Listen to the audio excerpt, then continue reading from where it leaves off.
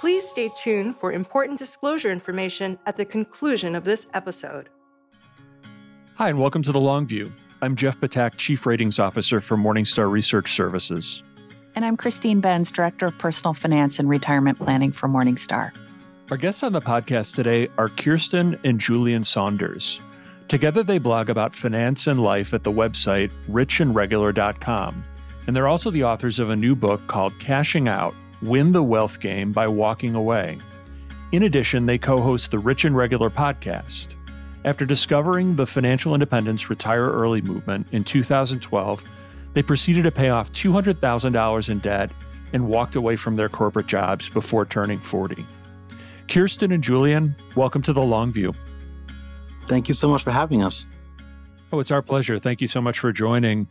It sounds like, Julien, you discovered the financial independence, retire early or fire movement first. Can can you talk about that? What you were doing for your career at the time fire came on your radar and and what appealed to you about it?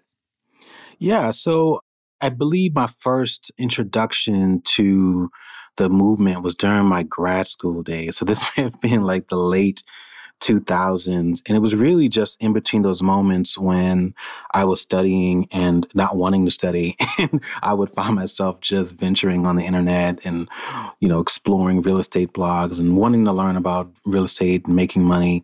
Um, and somehow that rabbit hole led me to uh, fire blogs and that wonderful world that really doesn't exist anymore. It's since evolved into all kinds of multimedia content. But um, I just found it really fascinating at the time that people were like sharing their net worth and talking about their investment strategies and really evangelizing for this way of life and this way of thinking. And, and I was just really fascinated by it.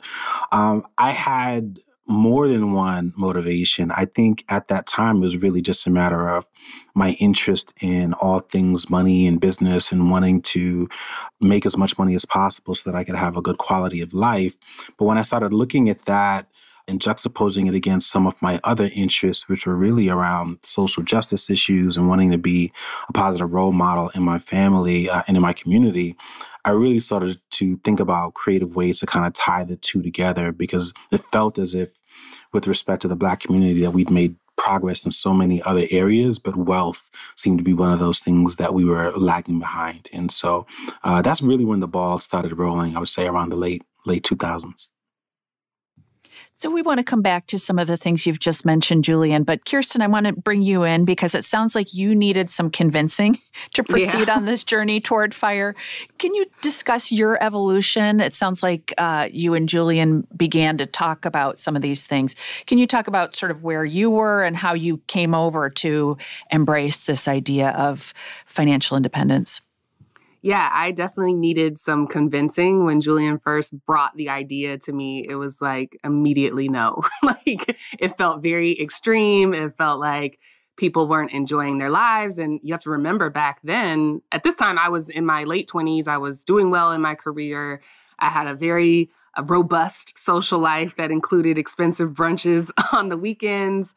And back then the blogs were kind of written anonymously and they were really focused on all of the ways that people were saving money and then investing the difference. So there wasn't a lot of narrative there. There weren't pictures and stories. Like everybody kind of had this pseudonym and code names that they were writing behind. And so my evolution really started to happen when I discovered different voices, when I discovered women like uh, Tanya Hester and Paula Pant that could really kind of paint a picture for me that allowed me to see me embracing some of these ideals without completely removing my identity from from my life and then the real shift happened when I went to a conference and we actually met people who were financially independent in real life that weren't bloggers, but were just living this lifestyle. And that was when kind of the magic happened. I realized, like, oh, that is exactly what I want to be doing waking up when I want to, spending my time in a way that's aligned to my values. And so I was all on board after that. You two became evangelists for financial wellness and began to pay a lot of attention to how you were managing your household assets. Who or what were your main influences on that journey? You mentioned Tanya and Paula. It sounds like they were pretty pivotal influences. Um, who or, or what else influenced you as you made your way on that journey? Uh, that's a great question. I think um, the first person, as, as I'm thinking about, uh, you know, I think I'm like a lot of other Americans where I remember reading um, Rich Dad Poor Dad, uh, but I, but I wouldn't call that an influence. It was really just like an entry point and and, and something that introduced me to personal finance. But I will say, um, Dr. Dennis Kimbro, who is a professor, but in many ways in the Black community seen as like almost like the godfather of personal finance.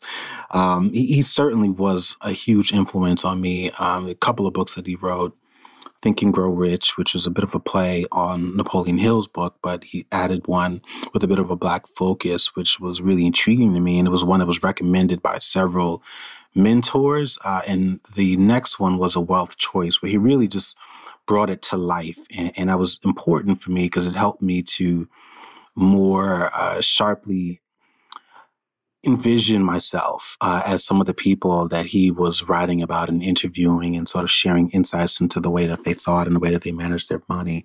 Um, but I don't know if you had any other influences. It wasn't so much a person, it was more the lifestyle for me. It was more of a what than a who.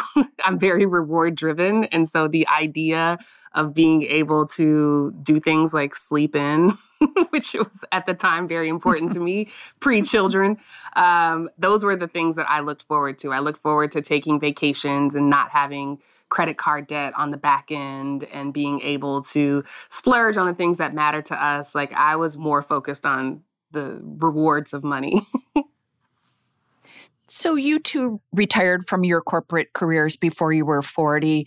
And I want to talk a little bit about how you did that because there's this whole gradation of people in the fire movement where you've got the I guess they call it lean fire, like the extreme mm-hmm. frugality mm-hmm. people, and then the people who have high incomes that you know somehow made their way to fire, um, but maybe they have a little higher cost lifestyle. How would you kind of plot yourself on that spectrum of fire practitioners? Uh, for sure, the latter end. Um, and, and, you know, I'm not a big fan of any of these labels. I really only use them because they're pretty widely accepted within the community um, and in the media. But for sure, like we credit having high income and discipline um, as major sort of sources as to why we were able to accomplish what we were able to accomplish. And I just remember thinking at the time, you know, you know, when you, when you're not earning, I remember when I was earning like forty thousand dollars a year, and it was like the most amount of money that I ever thought, and then was earning seventy five thousand dollars a year, and like it just that was like a dream come true because I remember reading job descriptions and thinking like what do people who make this much money do with all this money? Like i just couldn't imagine it until it actually happened. But, but even in those moments i would look up the organization and look around and think about people who made even more. And and i just found myself continually asking that this question like what are we doing with all this money? And quite honestly why are they still working? I just couldn't understand it. Um, but yeah all that to say like for sure like we were very fortunate to have earned high incomes. And um, we would see people who earned even higher incomes, but made very different choices uh, as a bit of a cautionary tale because we didn't want to be in our 50s and 60s and still needing to work uh, to make ends meet or to help sort of make up for decades past. As you embarked on your journey to financial independence, were there any key areas where you departed from the conventional wisdom about how to do it? Um, I think the biggest kind of area that we departed from was this idea of having a rigid number or a rigid timeline before we considered ourselves financially independent, or maybe a better way to put it is able to take advantage of the benefits of financial independence. So while traditional conventional wisdom says you have to have 25 times your annual expenses before you're financially independent and can quit your job, we realize that even if you don't have 25 times your annual expenses, there's still a whole lot of leverage you can do between working every single day for a salary and enjoying a life where working is optional. And so we decided to pursue a creative uh, career, I guess. I guess you can call it a career after we left the traditional workplace. And we're able to do that because of the portfolio that we have. So, how did you set your target for how much you would need to have set aside before you could quit those corporate jobs? Well, that part was pretty simple. It was really just a matter of guesstimating how much we think we would need on an annual basis and looking at how much we would need in our portfolio today and then allowing that to compound over a number of decades. Um, and so it was really just a matter of saying how much is enough, if you will, to be able to say, well, yeah, we'll have more than enough based on what we anticipate we would need uh, during reaching our traditional retirement ages or when we can safely withdraw without penalty from our retirement accounts. Um, it, it's it's a moving target for a number of reasons for us. Um, one, because we have a child and the costs of children is so wildly unpredictable. But even now, with respect to supporting a parent, you know, my mom is financially insecure. And so we do support her financially uh, today, and we're lucky that we're able to do that quite comfortably based on the number of income sources that we have. And so, all of that to say, for us, it was a matter of being able to reprioritize the things uh, in our life that were important to us, which at this juncture is quality of life, health, and our wellness, taking care of our son, spending as much time as we can with our parents in their golden years without having to worry about whether or not we are going to have enough in retirement. And so we're in a really comfortable spot uh, right now, and we're still able to earn income, which makes it even a lot easier. Yeah, I think the term for our version of FI is, is coast FI, where you kind of front load your traditional retirement and then you're kind of coasting in between hmm. your current age and traditional retirement age, and you're figuring out ways to, you know, cover your expenses and and continue to invest you mentioned enough a moment ago. In a lot of ways, social media seems to work against that concept when it comes to getting off, say, the spending treadmill. Uh, as we know, social media can be full of people flaunting trappings of wealth. How would you recommend that people deal with that, given that social media is a way of life for so many people? Ah, uh, a great question. Um, you know, you use the word treadmill, and I would say, you know, getting off the social media treadmill is probably one of the best things that you can do because you're absolutely right. It sucks you in and it shows you a very um, curated and mostly false way of life and thinking. And, um, you know, even now we're finding ourselves spending as little time as possible sort of aimlessly surfing social media because there's just not a lot of value there.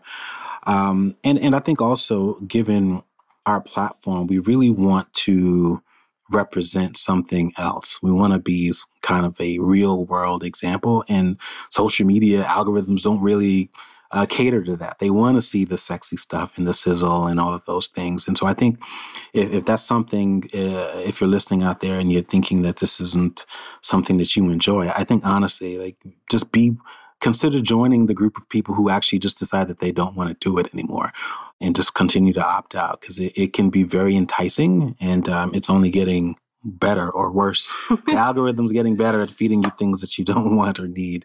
Um, I mean, but it's worse for a lot of people who are sort of spending time there. At the same time, there's the other side of that coin where social media allows you to find community in ways that you wouldn't be able to do locally. And so, for a lot of us who are pursuing countercultural means of financial progress, it's the only way that you can connect with like minded individuals through hashtags and communities. And so I'd offer that piece of advice. You absolutely want to heed Julien's caution and treat social media like the recreational drug that it is but while recognizing that through the power of hashtags and challenges and, and communities, you can also find your next biggest supporter. We tend to lean on our friends and family and expect them to support our, you know, every endeavor of our lives. But when it comes to money, sometimes that's not possible and you haven't met your biggest cheerleader yet or your accountability partner. So I would encourage you to use social media for that to join a couple of communities tweak the algorithm tell them you're interested in like money nerd stuff and the kinds of content that you want to see and then let it work for you yeah, that's a great point.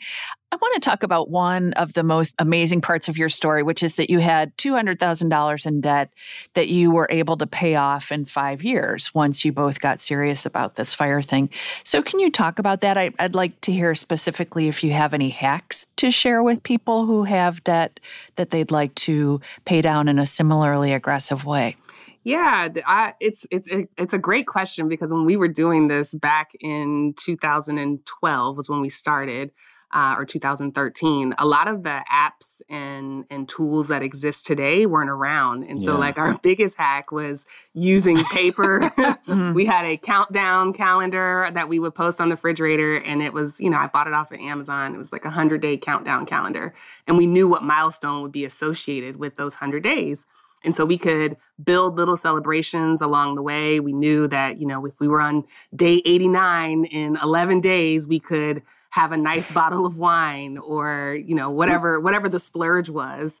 And then the other hack that we used was we would move the money as soon as it came into the account. Mm-hmm. Like I mm-hmm. remember we'd wake up on Friday morning, see the direct deposit hit, and we already knew where that money was going to go. It wasn't like we were letting it sit and like we just it, it went out of the account almost as soon as it came in and we were using the rest of what was left to to spend. So it was kind of like the I forget what Paula has a name for this kind of budget, but you're basically paying your debt down first and then you have what's left is is your budget. You don't have to categorize anything, like that's all you have. So those were the two things. It was just it was frequent. We normalized talking about money on a regular basis. We were super engaged with it. We weren't looking at our debt as a boogeyman. We really looked at it as a creative challenge that we could work together to kind of to get rid of. I would add a bit of a counterintuitive hack was to build in many celebrations along the way because it can be such a long and strenuous journey. Mm-hmm. And Kiersten actually had to teach me to do that because I was much more willing to go the hardcore frugal route. But um, it, it can get you know boring and and mm-hmm. you know mm-hmm. repetitive and so to building these little treats along the way really helped to um, you know make the entire journey feel worthwhile rental properties and rental income have been part of your story for achieving financial independence. And I think that's the case with many people in the fire community. But not everyone's cut out to be a landlord. What should people know before including real estate rentals as part of their financial plans? Um, there, there's so much to know. there's so much to learn. I think uh, for us, because you know, in the early stages, I thought that it was going to be something that was a part of our lives forever. But, you know, I was like dead set on it because that's what I had learned, that's what I was taught, and it had been role modeled by so many people. Um, I, I think one of the lessons that I would say now, looking back, and now that we've sold all of our rental properties, is that I think you owe it to yourself to like be honest with yourself, right? To your point, it, it is not for everyone, um, and that could change. You have to give yourself, you know, the right to change your mind. The other thing is, I would say, is you know, break the stigma of like seeing selling as a bad thing. In order for you to buy property, someone has to sell. Mm-hmm. But I think mm-hmm. there's like this obsession with continuing to buy and buy assets. I'm like, all right, well, someone at some point had to be willing to sell. And it doesn't mean that you're quitting or giving up. Sometimes you just may decide that this isn't a good good fit for you. And so I think if you're a newbie uh, investor and you're thinking about it, I think getting over that hump and not seeing like selling as some type of failure or some admission of wrongdoing, I think is really important. Like take advantage of all of the different perks and flexible options that you have that come with being a uh, real estate investor or a landlord, and that includes knowing when to uh, fold them. Can you discuss your decision to unload your properties and not be in that business anymore? Yeah, it was really as we started to engage and think about uh, how we could better leverage some of the skills that we learned in our corporate careers uh, as entrepreneurs and specifically within the creator economy, which is something that we really started paying attention to about five years ago. And the reality is, it was just far more lucrative and far more fun than owning real estate. And so when I started thinking about you know, where I wanted to spend my time and where I wanted to learn. And I was like, all right, I got to choose between really trying to master like my understanding of taxes and insurance, or do I really want to explore videography and photography? Uh, and so, one was just that interest, and I just didn't really find owning or being a real estate investor fun um, the way that I used to. But secondly, it was just far easier and more fulfilling for me to drive traffic to a website to grow income or to grow a following on social media. It's just far easier for me to do that than it was for me to raise rent and far more lucrative. I mean, quite frankly, some of the income that we would earn on an annual basis in one of our rental properties, we could earn with content like in a day. Mm-hmm. And so it just didn't really make much sense anymore. And we started to look at our real estate portfolio as like a dreary bond portfolio. It was just like holding me down, and I just I just didn't we just didn't want it anymore. It's like, but why are we doing this? And again, it was just out of this deep sense of commitment that well, this is what you do when you're building wealth. You're supposed to own real estate, and we just found that not to be true. And so. Real estate led us to fire community. The fire community led us to the creator economy, and now we're sort of straddling the fence between the two. Um, and it's a really, really fun place to be. What steps did you take to protect your own plan against the kind of market downturn we've had so far this year? Uh, I think it was a combination of things. So we we got a we got a glimpse of the market downturn for a blip back in 2020 when the pandemic started, and at that point, we had a lot of cash on hand from liquidating our real estate, and we started to really buckle down and determine like what is our like baseline budget, like what is our what is the what does Erin Lowry call it? I don't know. Yeah. I always think skeletal. yes, but it's she has like a darker word for it. but like our skeletal budget. So we we got into a good rhythm during the pandemic because I just left my job. Things were different. We had a lot of uncertainty. Obviously, that little blip only lasted a couple of months. So now we are revisiting back the same practices that we've been using for this entire journey. I think the the benefit of the fire community is that it teaches you how to be lean and creative in times where you don't need it. So when the environment, when the markets call for uh, that same shift to happen so that you can free up capital to continue to invest, it feels very natural to you. It doesn't feel like some sort of punishment or or any negative connotation. You just kind of recognize that this is natural. You see it as an opportunity. You welcome the uncertainty to an extent, and it becomes we keep using the word creative challenge, but it really does become this creative challenge to figure out how to how to take advantage of the downturn.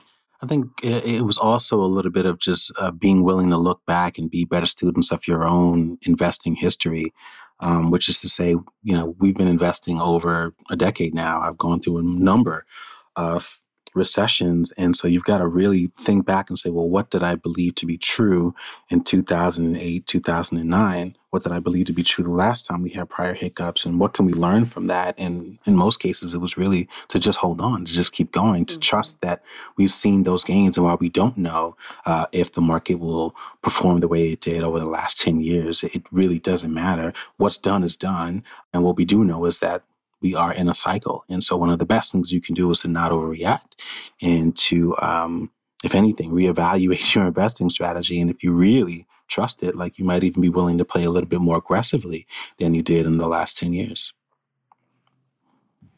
Julien, you mentioned at the outset of our conversation the racial income and wealth gap, which is a key interest of yours. It's something we've talked about on a few occasions on the podcast as well. People of color have substantially lower net worths than white people. They're less likely to have investments in the stock market or inherit wealth, and they're also more likely to be poor in retirement. So, as you've studied the issue, what have you concluded? Um, and this is a question for both of you. What do you think are the best ways to move the needle to improve financial wellness among people of color? Yeah, it is such a uh, sad and big question. You know, when we first started, um, uh, or when I first started really thinking of personal finance or wealth building as a hobby, as, a, as an area of interest, I remember that gap was somewhere in the ballpark of six or eight to one or six to eight dollars for every one dollar for black families and now that number is anywhere between 11 and 13 and so we, we've seen it doubling we're, we're seeing uh, wealth inequality get worse and the pace in which it's growing is, is seems to be getting faster uh, we haven't even begun to see uh, what the impact of COVID 19 and closing of businesses or loss of homes and property or any of those other things uh, may do to make it even worse. Um, what I do believe is that anything that is worthy of being deemed a crisis requires a multifaceted approach. And I think that this is without question a crisis. And so policy got us into this mess. Uh, by and large. And I think policy is going to uh, have to play a role in getting us out of it. And we've seen a number of politicians offer some things from baby bonds to um, reparations. reparations and guaranteed income, all of those things. But the last time I checked, um, it certainly does not seem to be a, a, top priority right now. And so this is sort of where individual responsibility and people on a local level really need to um, buckle down and, and start looking at their finances and get more engaged with investing. I think one of the best things that we can do is to really lean into entrepreneurship, uh, if for no other reason than because when done well, there's no cap to your income. And that's certainly not a perk that most jobs can afford us. And, and that's why it's such an important part of our message is to encourage people who are doing well and have the ability to walk away uh, to do so with the interests of uh, starting a business or becoming a business owner, whether or not you're an active participant in it or not. Uh, so, all of that to say, if I had to boil it down to one thing, all of the above. we need government intervention, we need education, we need um, income, you know, culture, and, and social norms need to be reevaluated so people uh, feel a little bit more comfortable uh, being uh, or acting in a counterintuitive manner. Uh, all of the above is necessary. Yeah, and I just add on that we need role models, right? We need examples of people who have done the things right, whether it's investing or saving heavily or retiring successfully. We need those stories. We need to update our our examples of success for our community. We we tend to highlight the extreme, the Oprah, the Obamas, the LeBrons, when really the I was going to say the Joneses, but I don't mean the ones that everybody compares them to, like the, just the regular Black Joneses, the, the Mitchells and the, the Saunders or whoever. These are people that you can admire as well, and we need we need refreshed stories and those people to be celebrated just as as much as we celebrate our celebrities. Julien, I want to follow up on the entrepreneurial idea because when you look at the data, and this cuts across racial lines, a lot of small businesses fail. You know, people strike out and start businesses and they don't succeed. So, how do you talk to people about taking chances to, you know, pursue that entrepreneurial idea, but also putting guardrails around it to ensure that it doesn't completely blow up their whole financial plan? Yeah, that's that's such a great question because it's something that uh, I, I do find when we talk about entrepreneurship with people. Uh, and what's interesting is uh, you use the term small business, and that's exactly the term that people use. But even when we're talking about small business, I think people are thinking too big. You're yeah. thinking about a multi million dollar or even a million dollar business or even a half a million dollar business. You can be the worst photographer in the world and uh, earn an extra $10,000 a year, automate that to invest into an index fund and be a millionaire in 15 years. So, those are the types of things that we're talking about. So, more specifically, it's really just encouraging people to think smaller than a small business. You should be thinking about micro enterprise, or you should be thinking about the power of self employment, whatever language uh, or word feels most comfortable. It's really just about growing income and doing it in a way that is fruitful for you and comfortable for you, that doesn't sort of sacrifice your quality for life to some crazy extent. Uh, but that's really what we actually encourage people to do is to think smaller You know, like I'm not asking you to create an app. I'm not asking you to break into tech or to uh, have a brick and mortar. I'm simply asking you to think differently and to open yourself up to exceedingly wide number of ways to earn more income that exists today that didn't exist even two years ago, given the internet and social media. And so, again, that's one of the reasons why we are so bullish on things like the so uh, like the creator economy because um, it is very lucrative and when done well can be um, a, a huge source of supplemental or even primary income for a great number of people. One topic we've discussed with other guests, including Michelle Singletary and Lynette Khalfani Cox, it's what's sometimes called the black tax, mm-hmm. which is a term that's used to refer to the financial obligations that black people often have to their family members and others in their community and how that can affect their ability to get ahead. Can you talk about that issue and weigh in on whether that's been a factor in your own journey? Yeah, it's it's absolutely been a factor in our journey. It's something that we're dealing with now. It's something that is much larger than the black community as we enter into this crisis of a shortage of healthcare professionals and and just the care economy in general struggling after 3 years of the pandemic. I think the ways that people address this is it's very personal and it requires some internal work because it's asking you to confront all of the cultural expectations and what you've been told to be true, what you've thought to be true for decades. It's asking you to rethink the shape of your family and how that works.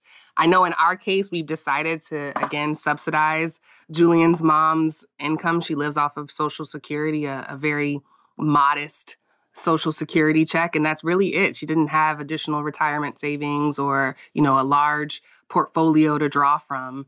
And so for us we've decided to supplement it because of the the benefits that we get from having her close to us and our son the generational wealth that we that we get from you know not a monetary dollar but just our son having access to elders and and lots of people from our family.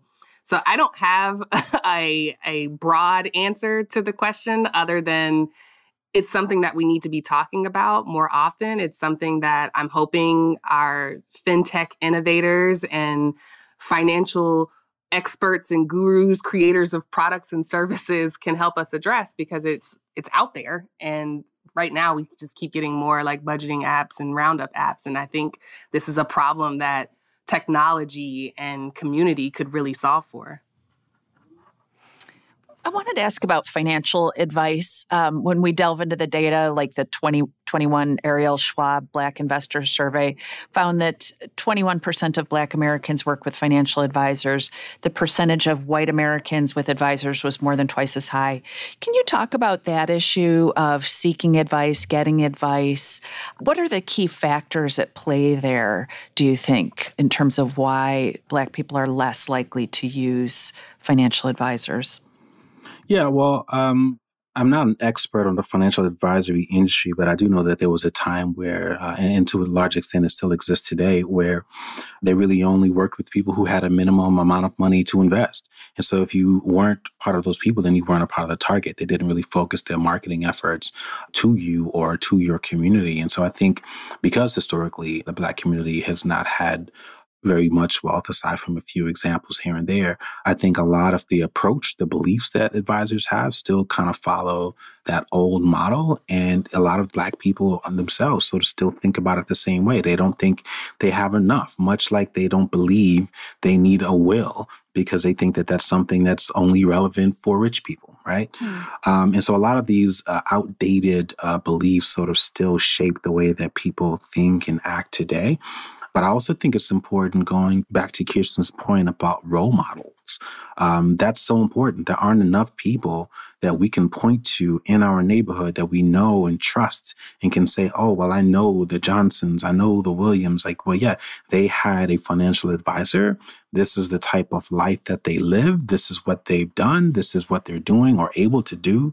Um, and they can credit it back to that. And so, without those examples, the idea of having a financial advisor, the idea of having and building wealth still for a lot of us seems like uh, like something that you see on television or something that you just sort of have heard is possible, but not something that you've actually been able to see and as a result can relate to. And so that's why it's so important for more of us to be role models and to be outspoken about our experiences so that we can encourage a lot of other people to tap into some of the resources and programs and services that are available to them so that they can follow suit. I wanted to shift gears and ask you about education, paying for education specifically. As you know, education in the US is very expensive and people mm-hmm. can get into a lot of debt to cover it. And yet, investing in higher education is practically a, a must for advancing in a career and accumulating wealth. How do you advise people to go about right sizing their education purchases so they're not putting themselves in financial jeopardy to pay for education? I think our, our biggest advice is to begin with the end in mind. And so, really, really be crystal clear about the expectations that you have for this advanced degree or certification.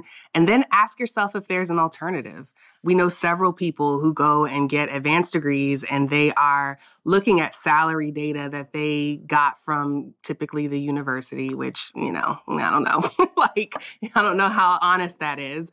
But they have these grand expectations for how much they're going to make, but they never actually did the research of the market in their specific area talking to people who have jobs, looking at hiring managers, going to networking events to see if that number that they have in their mind is actually a accurate reflection of what the market is willing to pay right now. And that's unfortunate because they they spend all of this money and then they come out and the salary, you know, isn't nearly what they expected. I also think we're in a time where education is going through a very similar revolution like the labor market and there are tons of new models that are popping up that are focusing on adult learners. We know that a lot of the jobs that will exist in 20 years don't exist today. And a lot of companies are investing in upskilling the workforce so that they're able to tackle these new roles and these new requirements of jobs for the future.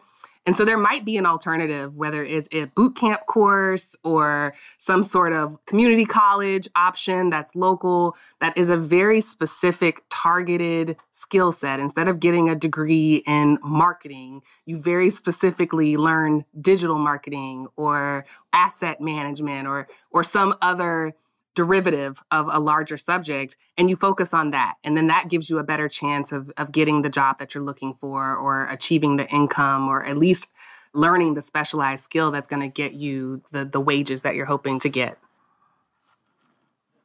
Can you talk about how you've approached funding higher education for your son and also balancing his education savings alongside your own goals of achieving financial independence at a fairly young age? Sure. So we opened. Um, it was a very proud day. I remember um, it was one of the things that we were so looking forward to when we uh, decided to open up our son's uh, 529 account. So uh, we certainly take advantage of those types of investment uh, vehicles to help offset some of the cost. Uh, and I think that's really the approach. Like it's very difficult to set a target for something that has risen so fast as the cost of higher education. Um, and so for us, we're really focused on making sure that we set a cap there and say, all right, this is how much we are able and, and sort of interested in putting into these types of accounts, assuming he's interested in going to college. Because uh, mm-hmm. uh, there's certainly a lot of questions about whether or not the value of a college education will be worth it um, 10 or 15 years from now, um, or even the number of colleges that are even available. Like there's a lot of consolidation going on and all those kinds of issues. Um, so that's the big thing for us is really just to set money aside that way. But we really think about education. You know, it sounds, Kiersten uses the word woo woo, and, and, I, and I, I don't often use it, but I, I'm going to use it here, is that we really pay a little bit more attention to education as a whole and not necessarily higher education or not specifically higher education. That's to say that like our son learns in a number of different ways. He can learn by working with us. He can learn by starting a business. He certainly learns when he travels with us. And I, I don't see that changing as he gets older. And so I genuinely don't know if he is going to even be interested in going to college. Um, but if he is, he'll have some money that'll help him to do that. Um, but if he is uh, interested in pursuing an entrepreneurial route or something else, I'm not necessarily against that either. So give me a call in about 15 years and I what, my, what my final answer is. Well, it's interesting now, and this is one of the things we've had to kind of unlearn about about parenting is that like the milestone used to be when they graduated high school is like that's when you know when you're in high school that's when you decide what's going to happen after that. But the reality is these kids are able to create paths for themselves far earlier than any of us were able to do. And so part of the planning process is remaining open to what he tells us. Like it's a it's a it's a power dynamic shift because as a parent you you feel obligated to guide them but this new economy, this new world where these kids come out of the womb kind of digitally savvy and have the world at their fingertips requires more of a partnership where, you know, by the time they're in fifth grade or seventh grade, they're pretty able to tell you, like, here's what I plan to do. I'm already working on it. I'm learning it right now. I speak Mandarin and I I understand the world very differently. So that's kind of exciting for us to see, like, yes, obviously we'll set aside money in case the traditional route is still the thing that he wants to pursue and still exist. But uh, we're also remaining open to the idea that in 15 years, the options are, are very different for him. One topic we've asked a number of our guests to weigh in on is what works in financial education and also what doesn't work.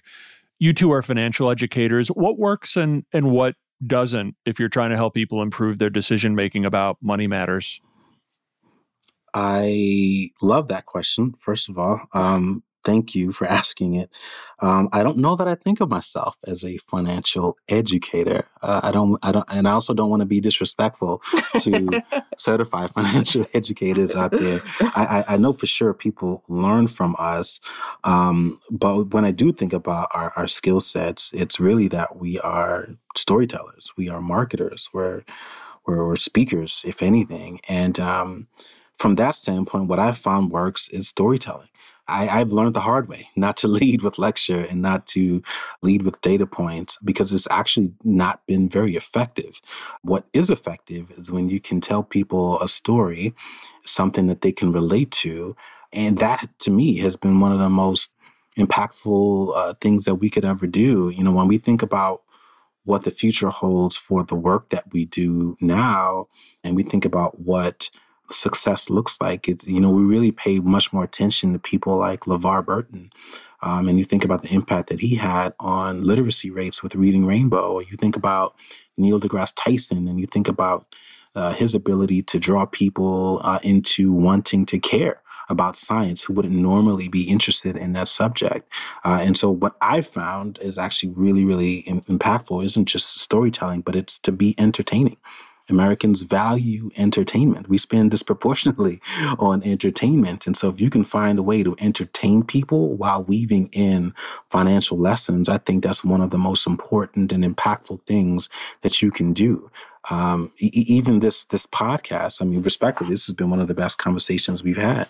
But I know far more people who would be more willing to watch a basketball game than listen to me speak about money, right? And so the question or the creative challenge for us becomes: well, how do we figure out creative ways to continue to make this fun? How do we uh, not make it feel like they're learning. It's a matter of just meeting people where they are. We're addicted to entertainment. And so it's really a matter of saying, well, you know, if you want to have an impact on the masses, you've got to figure out and understand mass media. But then you also need to figure out how do we entertain people because that's where the attention is. A related question is how much financial education we should be teaching kids in schools. There's been a lively discussion on financial Twitter about, you know, whether that should be a part of every grade school, high school curriculum.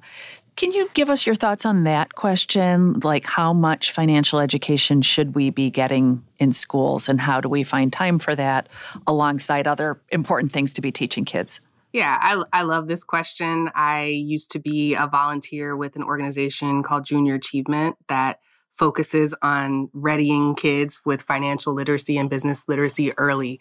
And so I'm a proponent for introducing these topics to them as early as possible. And the reality is, money is already discussed in school. It's just usually discussed in the context of not having enough of it, right? Like we've all, if you're a parent, we've all participated in fundraisers and bake sales and popcorn buys and gift wrap, whatever it is. Like these kids know that mm-hmm. money needs to be exchanged for things to happen. But I think the context of how that then shows up in real life is the part that's missing. And so I think this is where companies can really be innovative, especially companies that are local to a, a school system or a school site to come in and help create scenarios where kids can learn not behind like a desk and a lecture style, but through the act of participating in some sort of staged economy. So with Junior Achievement, they have um, a, a, building called BizTown, where all of the corporate entities in Atlanta kind of came together and we created a storefront and the kids get fake money and it's basically a field trip. They get to go for like three hours. They get a budget. They have to go to the grocery store. They got to go to the bank and they learn like what $300 actually buys. Like it sounds like a ton to a five year old until you're faced with, like, okay, well, now you got a phone bill, you wanted this car, you wanted groceries, and it helps them kind of contextualize like how far money gets them. So I think this is I, I, I don't know that we should add another thing to teachers' plates, bless their hearts. Like I love educators. They have a lot on their plates and many of them again do do teach about money but i do think this is where corporate entities and and small businesses and communities can really pitch in and and help schools teach more about financial and business literacy. What kind of lessons are you trying to impart to your son about money and financial wellness? You know that lesson was actually forced on me. Um, or my first lesson was actually forced on me and, and i don't know why I didn't see it coming. But uh, there's a place called Andretti's uh, down here in Atlanta where we live, and uh, it's like a it's like your typical arcade games and that sort of thing. And as you play the games, you win tickets and if you're a parent, you sort of know where the story is going. you collect all your tickets, and you're supposed to cash in those tickets for toys. And um, our son's eyes lit up because he saw that big shiny blue car. yeah.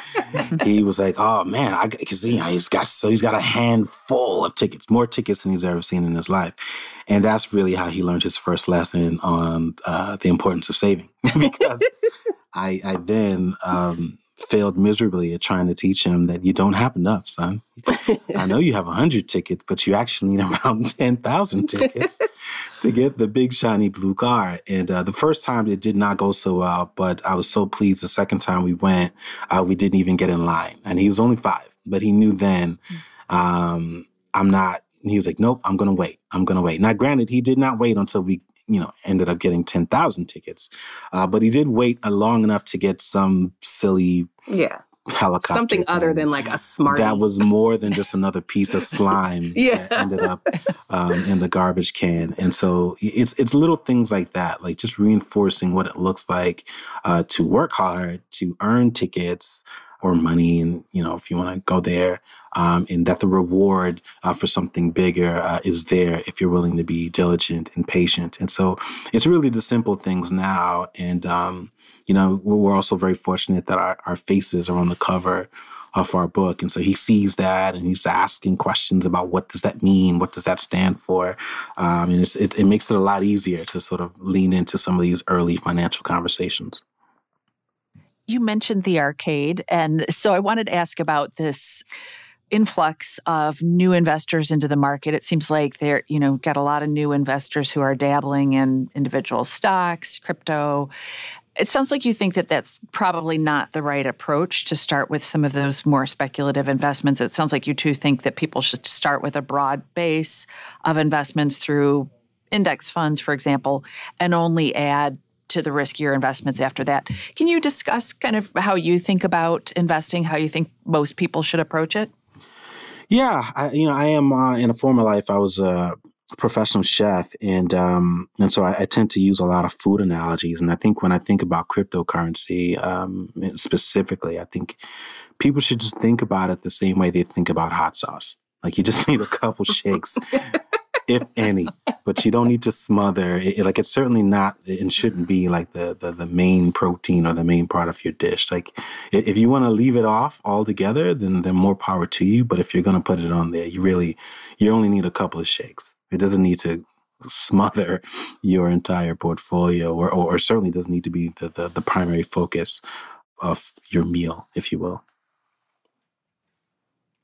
Your podcast covers a lot of different topics from ESG investing to food insecurity to buying used versus new. How do you decide what to talk about each week? That's a good question. So our podcast, when we when we created it, uh, we wanted to really explore this intersection of life and money, and we wanted to think about all the places because our listeners, your listeners, people who are already engaged yeah. in the financial community and content are well aware that you're supposed to spend less than you make, invest along the way. Like there's only two or three golden rules. And so we really wanted to explore and get under the hood of like, all right, well, then what stops people? And so we started picking all of these areas, these moments of conflict or tension where people know the right thing to do, but just don't do it, whether it's because they're hungry, right? So that's what the food insecurity episode is about. Like when you're hungry, the idea of putting money away for 10 years sounds ridiculous. When you are supporting a parent, the idea of not having a ton of cash on hand sounds ridiculous, right? So we just start to explore all the big and little ways that people can find themselves kind of ignoring all of this good financial advice. And we're very fortunate that we, you know, we still, although our business is digital, we still have a very active, like in real life lifestyle. So every week we are talking to parents and members of the community, our friends, our family. And so we pick up a lot of the ideas just from general conversations. People will just say stuff and we're like, wait, what? like, say that one more time. Why did you do that? and it becomes a topic. And then it kind of grew on its own. People now write us notes and ask us to discuss things. Like, they'll say, can you explain the metaverse real quick? Like, I don't understand why this is such big news. And so we'll we'll do it that way but it is um, it's not something that like we batch you know hundreds of episodes at a time.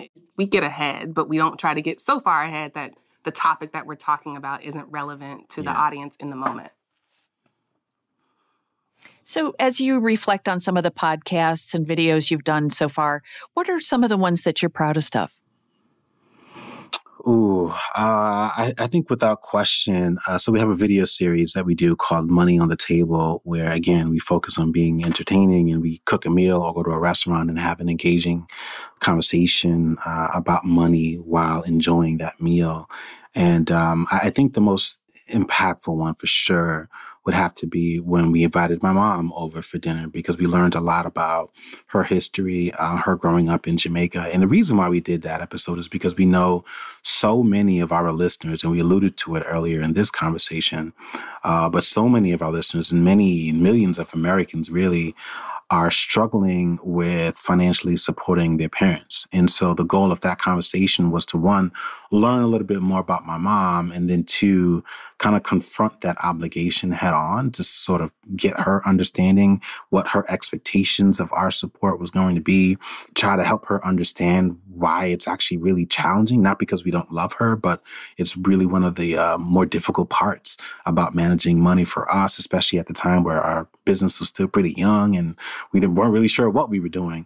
Um, and so it was really interesting and impactful because it serves as a springboard for other people to have that very uncomfortable conversation with their own parent.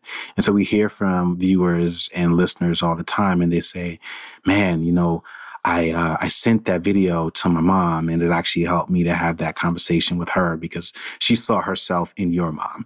And man, when she said this, man, I thought I was look, you know, people's hearts were racing as they're watching this video because it is kind of tense, you know, but um, it's real, and I think that's one of the more difficult parts of managing money, which again sits at the heart of why we do the work that we do. Like we believe our listeners are some of the smartest people out there. They don't struggle with financial illiteracy. They struggle with the social and the cultural issues that get in the way of them making smart financial decisions. And so in an effort to be role models and to fulfill kind of the mission of our business, which is to inspire better conversations about money, we figured there was no better way to do that than to simply show them what it looks like. Well, Kiersten and Julien, we have absolutely loved this conversation. Thank you so much for coming on to Longview and sharing your insights. Thank you. Thank so you for much. having us. Thanks so much for being here.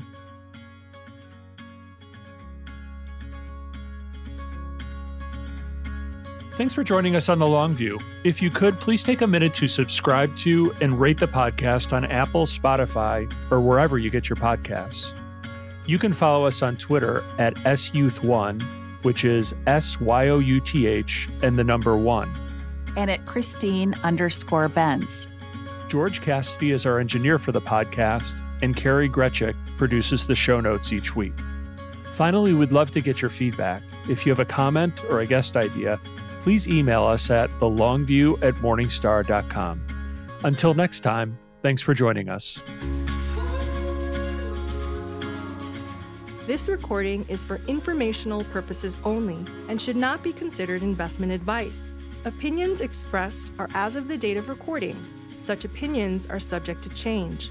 The views and opinions of guests on this program are not necessarily those of Morningstar Inc. and its affiliates. Morningstar and its affiliates are not affiliated with this guest or his or her business affiliates unless otherwise stated. Morningstar does not guarantee the accuracy or the completeness of the data presented herein. Jeff Ptak is an employee of Morningstar Research Services, LLC. Morningstar Research Services is a subsidiary of Morningstar Inc. and is registered with and governed by the U.S. Securities and Exchange Commission. Morningstar Research Services shall not be responsible for any trading decisions, damages, or other losses resulting from or related to the information, data analyses, or opinions or their use. Past performance is not a guarantee of future results. All investments are subject to investment risk including possible loss of principal. Individuals should seriously consider if an investment is suitable for them by referencing their own financial position, investment objectives, and risk profile before making any investment decision.